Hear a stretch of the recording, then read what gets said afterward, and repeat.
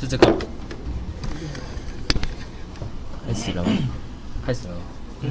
哦，好，那个我们是第三组，然后介绍一下题目，先介绍一下题目。那个小明是警察，刑事警察局的，诶，查毒品的中心的主任。然后他前阵子有接到一个线报，是有一个叫托椅子的毒贩，他开始要卖大麻。然后为了要获得他贩毒的证据，所以有警员他就渗透渗透进那个群组里面，然后观察过后发现，他每天都会传一串数列，然后来暗示买家交货的时间。其中那一串数列的众数就代表是几十，然后数列前五个不同的数字就是比如说零零一二，那不同数就是零一二，然后前五个就是相加代表是几分。好，那这前两题查，诶，第一个是找双数，第二个是找前五个不同数字相相加。然后接下来除了这个线索，他也发现，在记事本有两两一行的数列，代表是买家的坐标位置。啊，现在知道有有两个买家是网红九妹跟雷拉，然后那个在记事本里面，他有观察到他们两个的坐标是相邻的，而且他们是距离最大，就是比如说这边有两一个坐标，一个坐标，一个坐标啊，他们两个是连在一起的，然后是其中是距离最大，对。啊，为了要避免新闻太快那个出现，因为他们是网红嘛，所以会惊动其他买家就发现，然后赶快逃走。所以他们警方就决定最后再抓捕这两个啊，这边有一个就是掰的，就用用 AI 大数据分析，所以就求出只要求出九妹和雷拉他们两两地的距离，还有就是坐标之间的距离，还有整个行动的时间。然后这边设定是，如果两点的距离是小于小于等于四的话，就是大概十分钟；然后如果超过四的话，就大概二十分钟。然后大大概这样就可以求出那个新闻要最早发布的时间。对。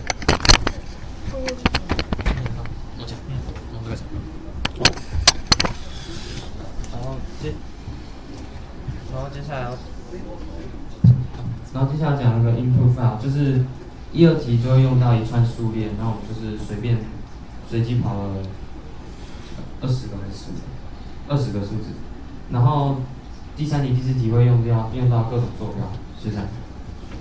然后接下来看回圈的部分。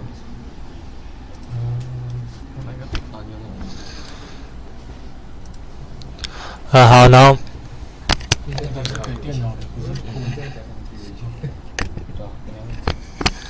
好，然后接下来就是我们四个子题，然后我们都是从组成式这边读入。然后接着再传到子程式那边做运算，然后最后再转回来输出。所以第一个第一个子题就是刚刚讲的题目，呃，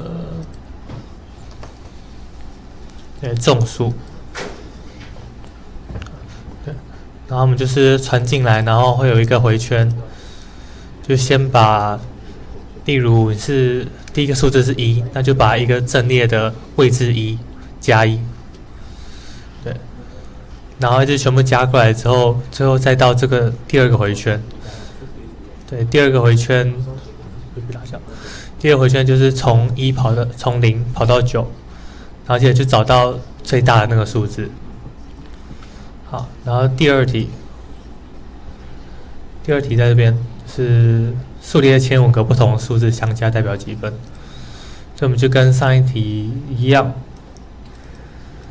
就先把它全部先加，然后如果这个没有加过的话，等于零的话，还有第二个条件则是，如果它加起来的就它相加的数字还是五以内，还没有超过五的话，他就会把它。加到那个答案里面，然后接着它的就代表他加的数字，总共只能加五个嘛，就会加一，然后最后再把它全部相加起来。呃，然后第三题就是两地的距离，嗯，我们就是照顺序，我们会给一串坐标，x 跟 y 坐标。然后我们就会用一个回圈，从零到六，用六个点，不对，七个点，然后有六个距离，然后我们用这个公式，就是毕氏定理，来求出两点的距离，然后我们就用这个判断，如果它大于 max，就是它比 max 大的话，max 就会等于它，来求出最大值。然后最后是第四个子题，我们要跟上一个方法一样求出距离，然后如果距离大于四的话，它就会加二十；然后如果它小于等于四的话，它就只会加十而已。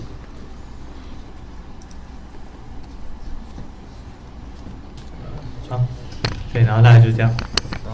我们设定设定答案，第一题是五点二十五分，然后分两答，然后第三题就是这是一个答案。然后哦，不需要，你看你跑的是，好，不好意思。先换你先按，在上面了吗？换一个。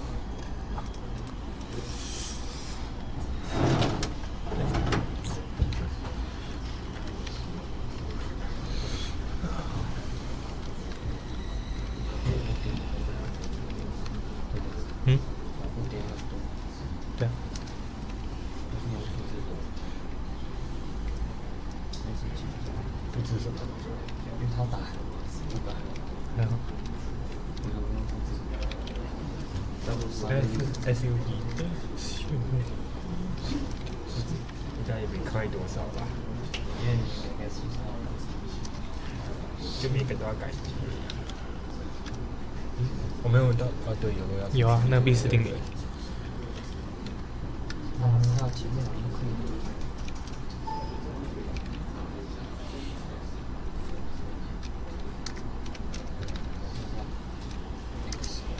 哎，对。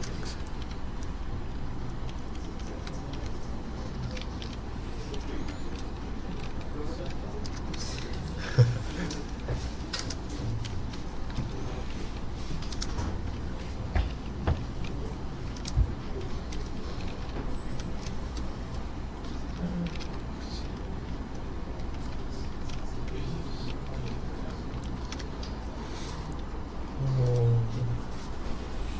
鱼肉的是。对，那这就是我们答案。